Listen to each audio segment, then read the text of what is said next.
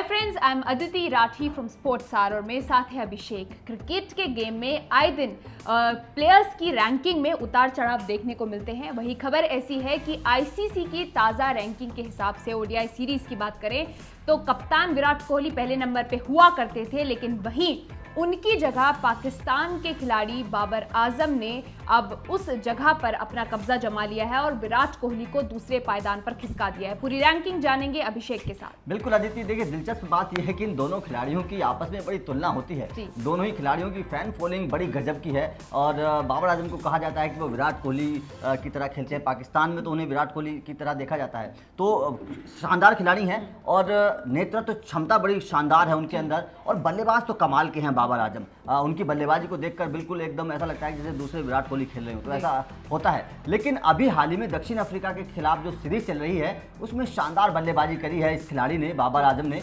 और अपने शानदार बल्लेबाजी की बदौलत विराट कोहली को बाबर आज़म ने पीछे छोड़ दिया है वनडे रैंकिंग में। और ये देखिए कि पहले पायदान पर अब दुनिया के नंबर एक वनडे खिलाड़ी बाबर आज़म बन चुके हैं। ये बड़ी उपलब्धि है बाबर आज़म के लिए और पाकिस्तान क्रिकेट के लिए मैं कहना चाहूँगा। क्योंकि उन्होंने सीरीज़ तो जीती जीती रैंकिंग भी जीत ली है ये सबसे बड़ी बात यह है। और बाबर आज़म नंबर एक खिलाड़ी बन गए हैं। आईसीसी ने उसके इसको लेकर एक ट्वीट किया है। आईसीसी ने ट्वीट किया है कि Pakistan captain has overtaken Virat Kohli to become number एक batsman in ODI men's cricket. तो ये एक बड़ी बात है बाबर आज़म के लिए। अगर मैं पहले पहले पायदान की बात करूँ तो बाबर आज़म ने बाबर आज़म पहले पायदान पर हैं। उनकी जो रैंकिंग है आठ सौ पैंसठ रैंकिंग है और वो पहले पायदान पर विराट कोहली आठ सौ सत्तावन रेटिंग के साथ दूसरे पायदान पर हैं। मतलब दोनों के बीच में आ, आठ अंकों का फ़र्क है तो आठ अंकों का फ़र्क काफ़ी होता है और दोनों के बीच में इन आठ अंकों के फ़र्क की बदौलत बाबर आज़म नंबर एक हो चुके हैं हम्म। और विराट कोहली नंबर दो पर हो चुके हैं तो वहीं इस रैंकिंग में न्यूजीलैंड के रोस टेलर चौथे पायदान पर हैं हम्म। और ऑस्ट्रेलिया के एरोन फिंच पाँचवें पायदान पर हैं। तो ये दोनों तो काफ़ी पीछे हैं लेकिन पाकिस्तान और भारत के इन दोनों खिलाड़ियों में टक्कर चलती रहेगी क्योंकि अभी भारत को टी ट्वेंटी सीरीज़ ये आईपीएल खेलना है। आईपीएल के बाद भारत वनडे सीरीज़ खेलेगा। हम्म। तो उसके में देखना होगा कि क्या विराट कोहली का प्रदर्शन किस तरह का रहता है क्योंकि विराट कोहली ने पिछले एक साल से शतक नहीं लगाया है।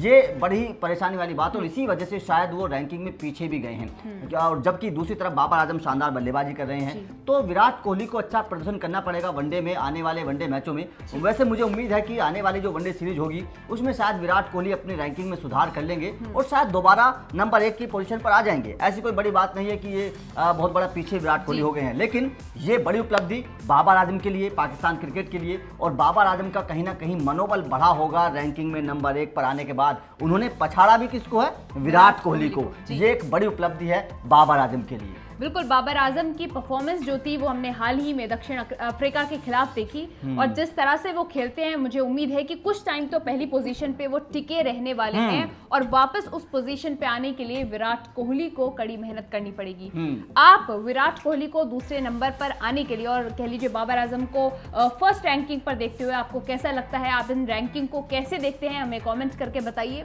और घर बैठकर जो है आप हमें कमेंट करके बता सकते हैं कि आपको ये वीडियो कैसी लगी। अगर आपको वीडियो पसंद आया हो तो दोस्तों के साथ शेयर कीजिए वीडियो को लाइक कीजिए और स्पोर्ट्स आर को सब्सक्राइब कीजिए। Thank you